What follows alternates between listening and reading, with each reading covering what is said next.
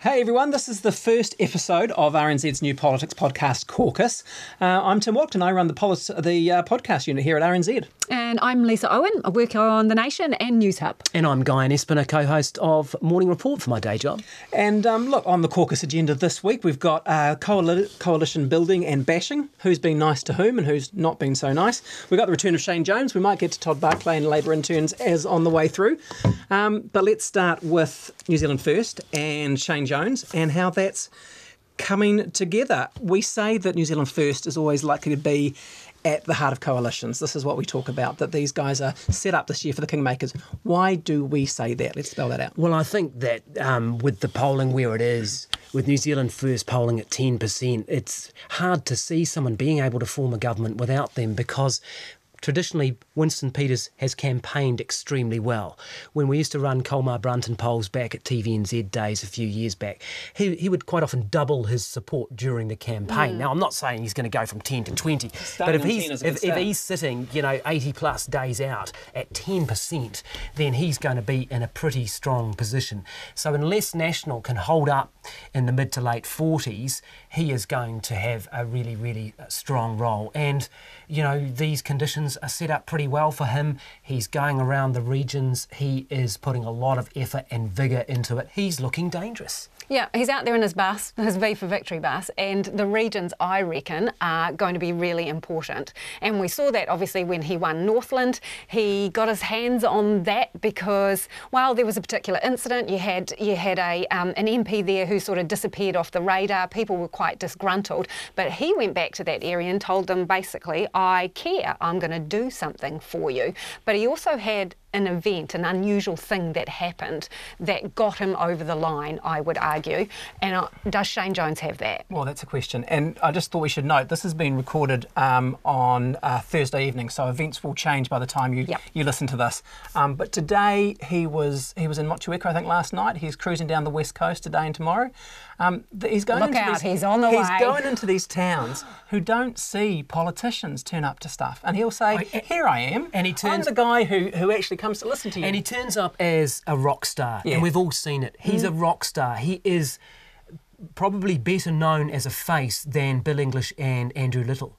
He is his recognition. Almost everyone knows who Winston Peters is, and he puts a party on. He's got jokes. He's he, got the jokes. You know, Those yeah, same jokes he's been using for twenty they, years. They, they love him, and he turns up. He, he turns a crowd. And we, we, we, we started talking about Shane Jones. Now that's what he brings as well. He brings some star power he has uh, negatives as well. Yeah. Um, and we've, uh, you know, he hasn't he hasn't got, got a great record of success in electorates. Well, he's zip, we, we know he's that. Zip for three. He, he, he's zero that. from Let's three. go through yeah, that. Yeah, he's, he's zip for three. So he stood twice, twice in, in Northland. Northland, and he bummed out there. He only got about 25% of the vote. And remember, he's up against John Carter, though, who in the day was well known in Northland. And, and got half of John Carter in, in 05 and half of John Carter in 08. So yeah, exactly. And then Tamaki Makaurau he, he, he increased his vote there. He was short of um, Pita Sharples, I think, by about, what, between seven and 900 votes. So it was yeah. a much closer rate. But that's zip for three, and he acknowledges that. And the funny thing was, I reread his valedictory speech the other day, and he loathes he loathes campaigning and door knocking. He talked about how Helen Clark sent him out to knock on doors, and he was like, "Oh, this is not for me," kind of scenario. That is true, and people have pointed that out. Um, that, that, that, that you know, hard work and, and shoe leather is not one of his, his strong points. I would put it put, point out that the, the Labor leaders zipped from two in, in two electric battles. Yeah. So you know, it's it's it's not necessary to, to discount no. him. Also, the other thing is obviously they want party votes. It doesn't really matter, does it, if he wins Whangarei or not? No, but it's a pride thing, isn't it? It is a pride and, thing. And, and, and yeah. Winston Peters it is a pride thing. And I think if you look at the numbers, you kind of, in that Whangarei seat, there's been a, anything from a 10,000 to 15,000 majority for for Labour over the years. That is a lot. Whangarei for National. Yeah, that's yeah. that's a lot of that's a lot of votes to claw back. And yes, in Northland, it was kind of around that as well, but you had a slightly different set of circumstances. It was and a Winston, very particular yeah, moment in time. Winston yeah. turned that into about a 4,000 majority majority. So Shane Jones really has to grab votes from everybody, including National. Does he have that appeal? Does he have that appeal? He, well, look, National's been getting 20,000 in the last election. You put New Zealand First, Labor, and the Greens all together, they get 13,000. So, yeah, they get a lot of votes. He can definitely take votes off National. He's, he's got a good business record, especially in the north. He, he can talk about his fishery deals. He can say that I've been around the Pacific, um, you know, dealing with, with statesmen.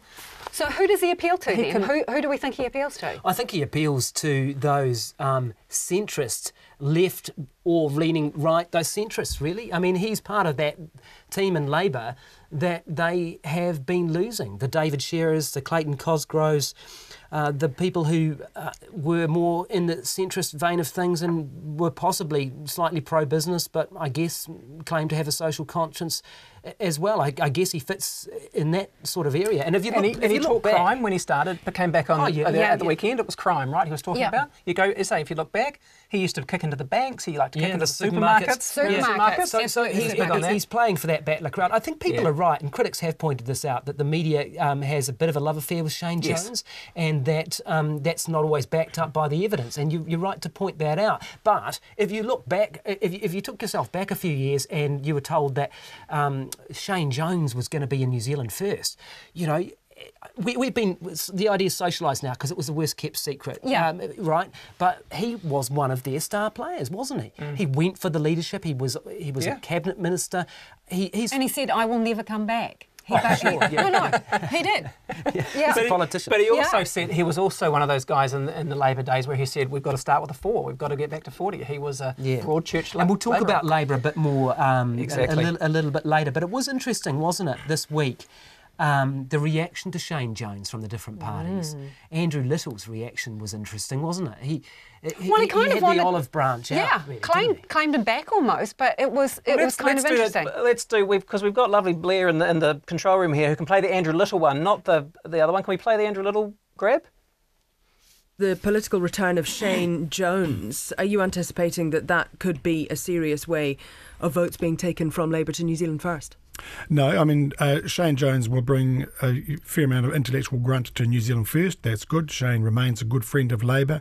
Uh, he will most likely be back in Parliament. I mean, that's a good thing. I think, it, you know, from the Labor Party's point of view, What about how all this shakes down? I mean, what are the chances of New Zealand First with Shane Jones in it working with Labour? I think uh, you know we have a very strong relationship with New Zealand First right now. Uh, Shane Jones's presence can only strengthen that. Shane has you know good strong links with some of our MPs, um, and I expect that that will continue. So Shane, if, if anything, strengthens the bridge that we have with New Zealand First. So I don't see any problem with that at all.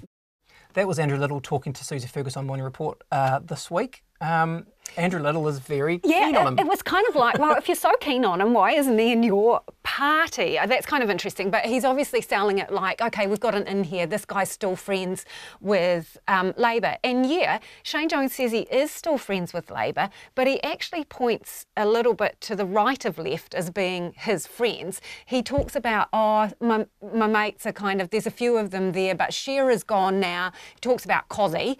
Clayton Cosgrove, Yep. um, who is retiring at the at, at this election. So the people that he relates to most in terms of Shane Jones and Labor, that's a diminishing pool. So and is Guy, it- you've got a point about what that means for Labor, don't you? I just think that, um, you know, I just question the strategy of saying, you know, it has to be a three way government, you know, and I think he's been pursuing that um, strategy for some time, and I'm not entirely convinced by it as a, strategy. If you look back to the template of how Labor has won in the past, 99, 02, 05, all under Helen Clark, it's basically you get to 40%. And then at that point, you bring in the smaller parties and you have choice. It might be United Future if they're doing well, or it might be New Zealand First, it might be the Greens, but you have, you have options. By saying that it's Labour, New Zealand First, and Green, and we're going to need all those to form a government, I think um, you're giving away a little bit of your major party clout at that point and, and, and, and surrendering yourself to the idea that you Yep. are not going to be a 35 North Party. Or- now, that or might you're- just dealing with the reality. Exactly, or you're accepting reality. Well, you're well, yeah, giving it away. You maybe you're mm. giving away the dream, or maybe you're just dealing with the facts in front of you, which says that you know you're Andrew Little. You come in, you've had your Phil Goff time, you've had your David Shearer, you've had your David Cunliffe. I'm not a, I'm not close to forty percent. I just wonder though that having that strategy and that mindset um, perpetuates that. Well, it does. You know, I mean, if, if you're What if- you mean? You present yourself as a loser from the get-go? Well, or you are giving away your votes unintentionally because I mean people think that that MMP is somehow some sort of you know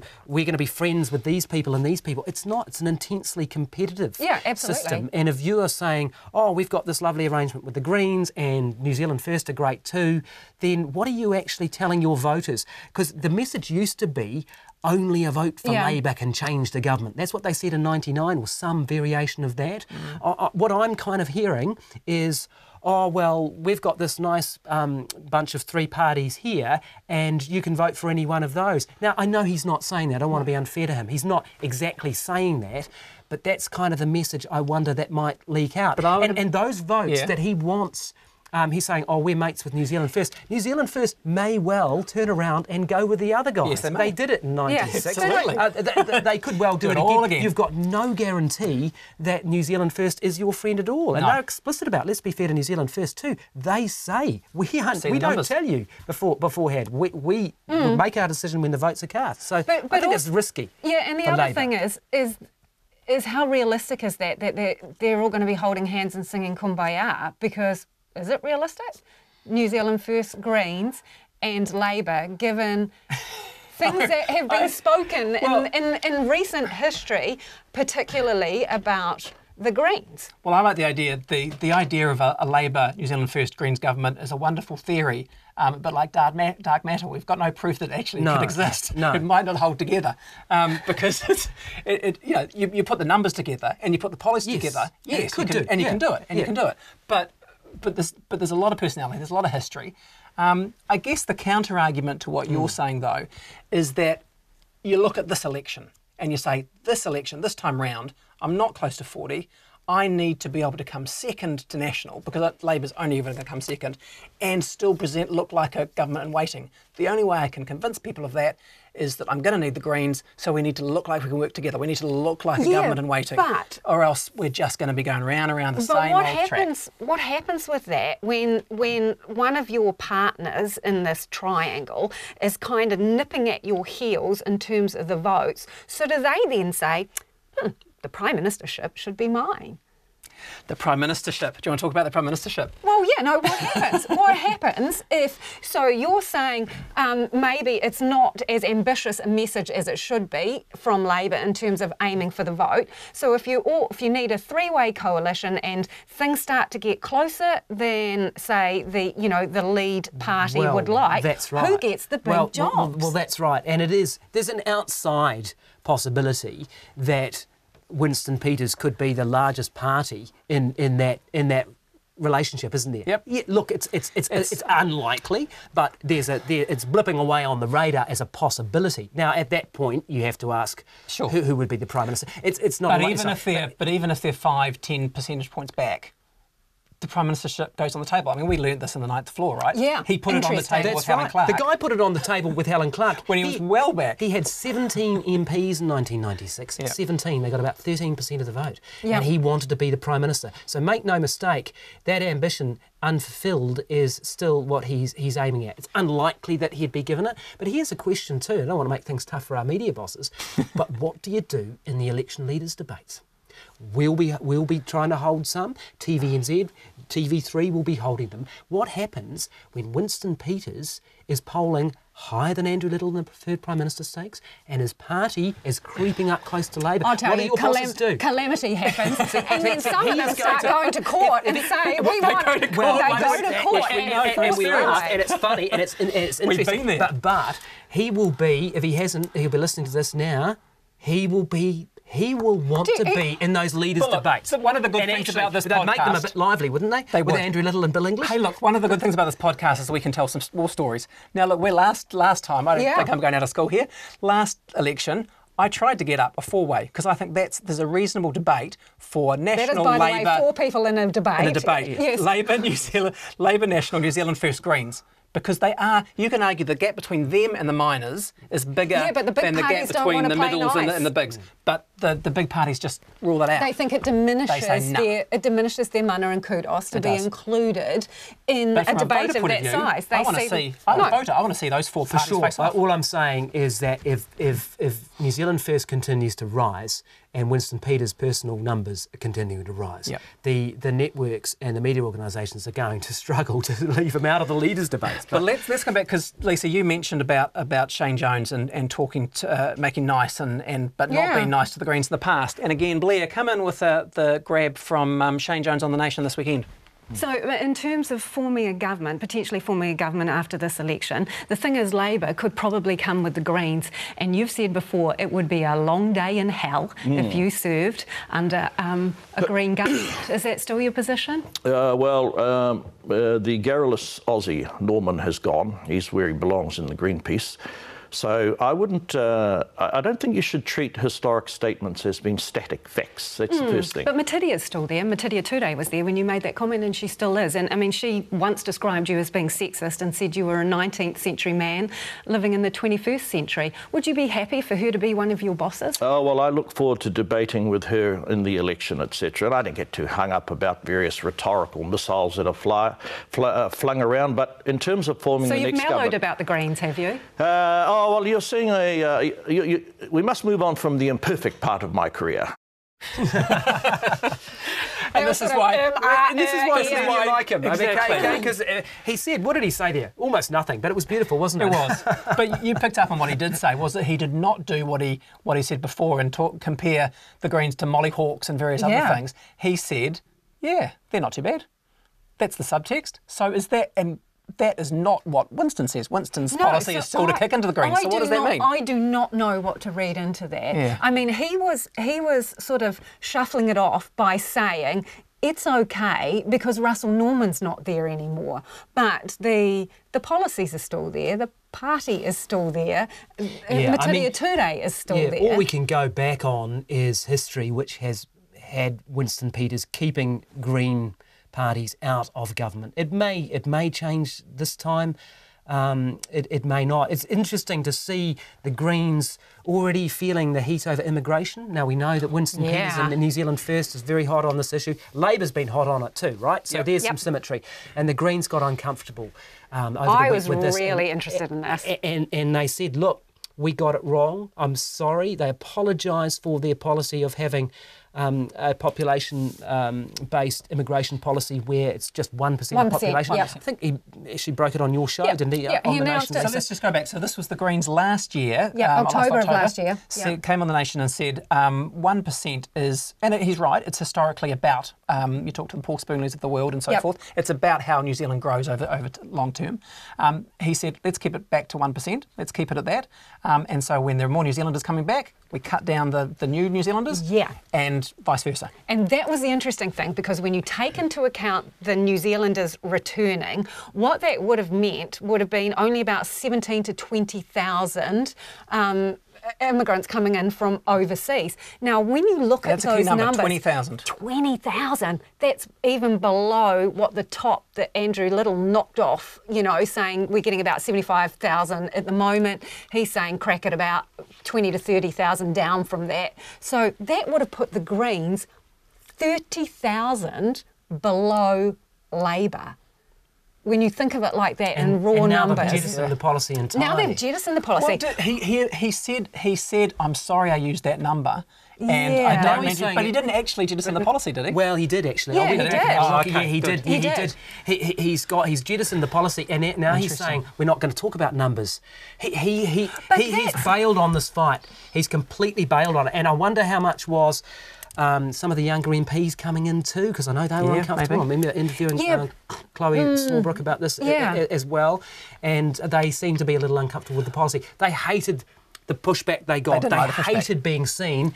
Uh, uh, you know, that would be their worst nightmare. Anti- they- they- anti- anti-immigrant or, or, or in any sense racist. That they, they were really, really upset Yeah. about that, and, th- and, they've, and they've bailed on it. But I looked back at the transcript of the interview with James Shaw when he announced that policy, and he was raising some really legitimate Oh, questions legitimate around questions. that. Like, you know, infrastructure, we're heaving at the seams in Oh, sure. terms of schools and things like that. He talked about the fact that he thought, what was it, that um, house prices going up, I haven't got the figure here, he said house prices were going up about 6 to 12, 6 to 12% based for, on for 1% of growth. for one percent of growth. Yeah. So you know he has identified it some really, he, you know, yes, He and didn't, he didn't just. It No, wasn't just some he meant what he said. Yeah, yeah. yeah. and so you know, and he was saying we can't be doubling our our population, which is what we're doing at, the, at the moment, in about every 35 years. When in the past it was like every 70 years. We can't be doing with that. We So can't So where does this leave us then with this Oh, MOU, can- right? So where, where, where does it get us? Because, you know, so obviously they're Labour's different. policy becomes the default policy for the Greens, does it? If they're backing away from their own policy. Well, this is the thing. I mean, th- okay, they are independent parties with different policies, and yeah, let's Yeah. give them credit for that. They Yeah. didn't when they signed this MOU. They didn't. It wasn't a, a No, no. a, a takeover and merger. No, it wasn't that's merger right, and that's right. acquisition, was it? But there was a sense that you were going to see a combined government in waiting, right? Yes. But so when we see the immigration policy is now very, very different, we saw um, different voting on, on the budget and the accommodation allowances and the budget Yeah. increases for, for welfare, um, different stances taken on that. Is it worth much now, this MOU?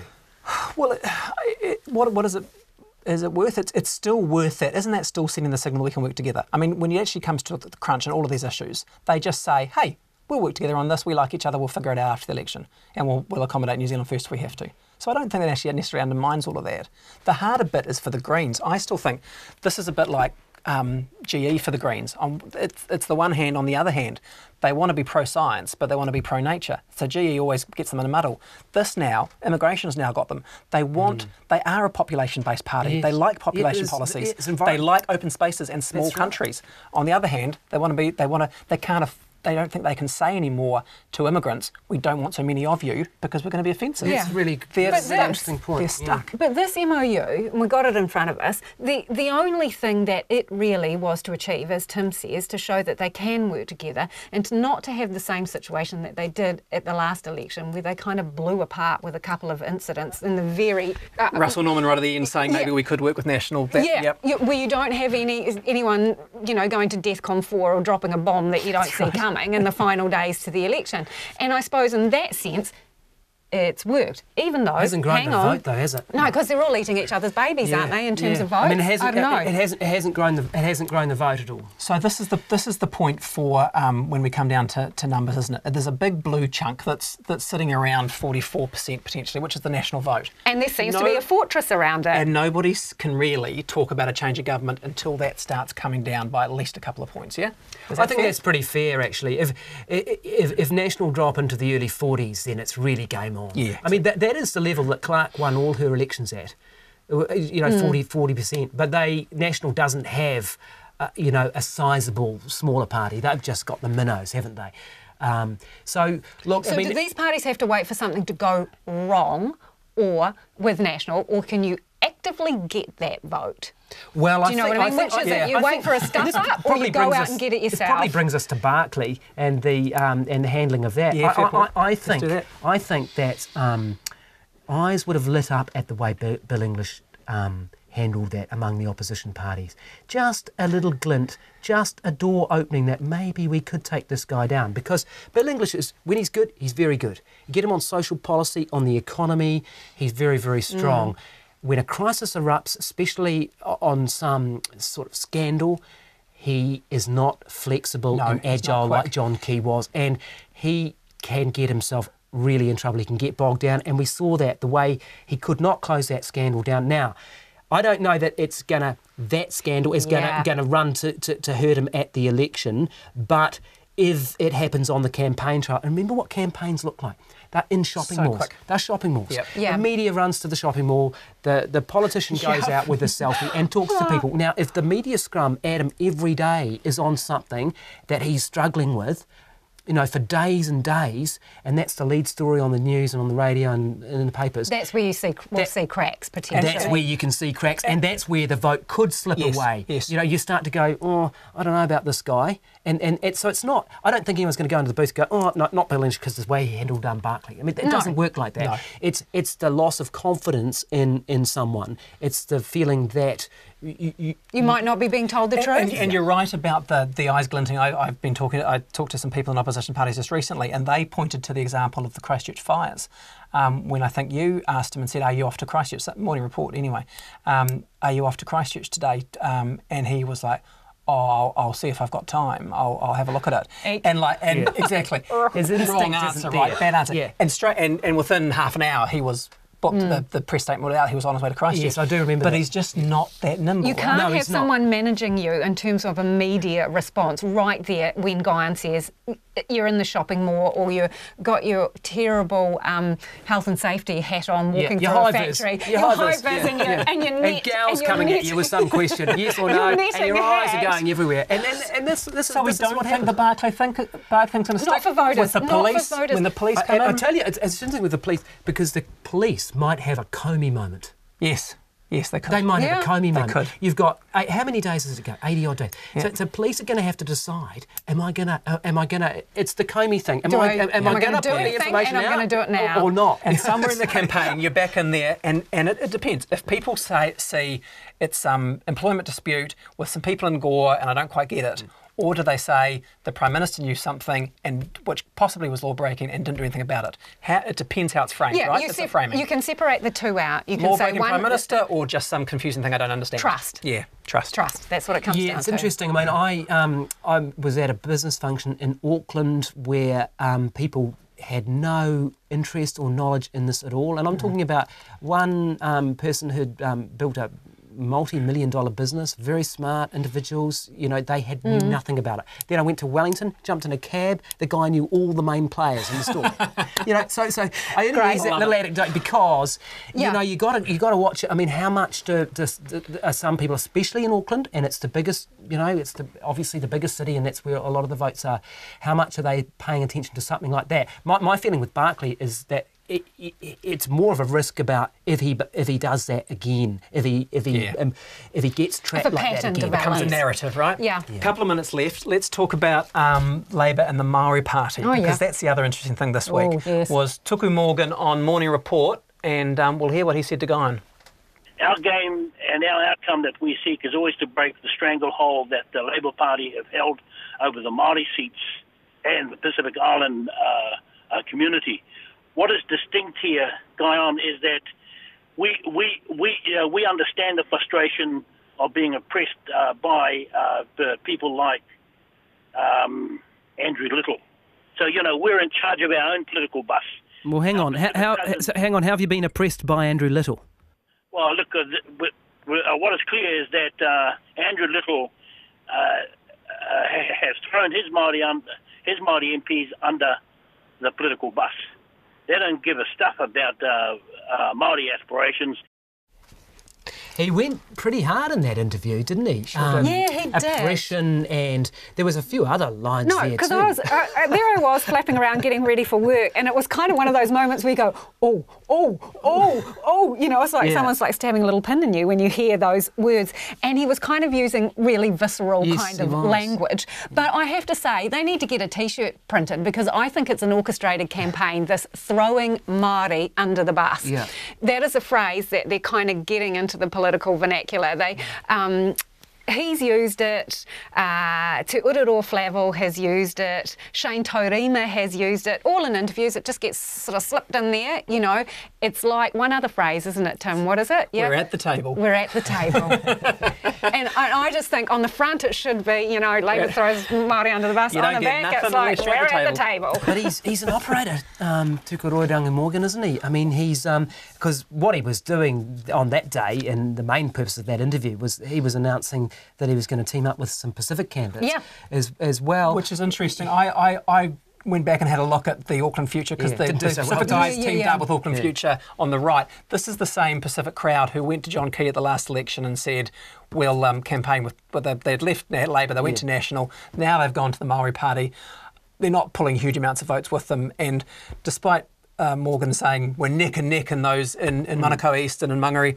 These are these are big majorities for Labor. Yeah, they I, are. realistically, yeah, they've they're got not. and they've anywhere got um, some relatively high-profile MPs in those Yeah. communities who are well connected with their community and very visible.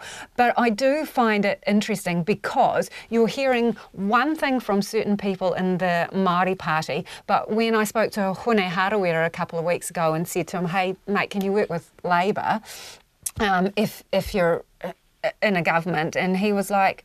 "Mm, You know, we, I'm like Winston Peters. I'll, I'll make my mind up after the after the big day. But I said, you know, Te Ururoa is saying a lot of things about about Labor, and he said, go ask Marama what she thinks. Well, that's right, because she she she came out and said that um, she was quite open yeah, and she has said that to she working with to Labor. Labor. Yeah. So so there's a bit of a Is mixed good cop, message bad there. cop going on there? Um, I don't think it. Yeah, I don't think it helps Labor to be in a fight with the Māori Party. I thought Andrew Little handled that quite well because he came on straight after. super diplomatic and he, and he didn't bite back, which I thought was good. Yeah. Uh, he's got himself in trouble before. Remember when he was saying it wasn't um, Kaupapa Māori, uh, that oh, yeah, he was saying yeah, or, or, or even that it wasn't tikanga, or um, I can't remember exactly the phrase that he used, but Yeah. he got himself in, in, in trouble. I thought he handled that quite well by. By not biting back at some pretty inflammatory Hosed it down stuff, quite a bit. um, from uh, So from Māori Party Moore. and Labour are certainly still battling a lot. Um, is that gonna muddy? It's not going to look. It's not a good look for either of them, really. Is I it? don't think it really is. I can see why they are doing Yeah, this. but They're hang after the on. same vote, you yeah. have said. You've said that, like, as a headline thing, you need to get out there and scrap for every vote That's if true. you're a particular party. So, like, if you're saying Labour, get out there and scrap for every vote, that's what these guys are doing. Yeah, They're that's fair. scrapping for That's fair. every vote. Yeah. And um, they clearly see their main competition, obviously, in the in the I think Māori that's right. I- electorate. I, think I think that's right. And I think you're right to point out my um, inconsistency there too. And we're going to do we're going to do that a lot over the next twelve weeks, I hope, as we scrap um, for um, your time. Hey guys, um, I'm just looking at the clock. We got to go. oh, we're out of time. Stomach's starting to rumble. That's right. Did we did we did we decide anything at caucus? Caucus, uh, the, the motion for today is. It's carried. Yeah, exactly. whatever we'll go with that. Hey, thanks very much, Guy and Lisa. Um, we're going to do this every week until the election. We hope you guys enjoyed it. Um, thanks heaps for listening. This is Caucus. Thanks for listening to Caucus, RNZ's new politics podcast. Claire Easton Farrelly and Blair Stadpole have been in the control room this week, making sure you can hear and see us properly. Our theme Sting has been created especially for Caucus by Copra Music. You can subscribe on iTunes, Spotify, or wherever you get your podcasts. While you're there, please do rate us and review us. It does make a big difference to the algorithms. You can also listen back to Caucus at radionz.co.nz. Go to the podcasts and series page. You'll find Caucus and a whole bunch of other great podcasts there. Otherwise, we'll be back with you for more Caucus next Thursday.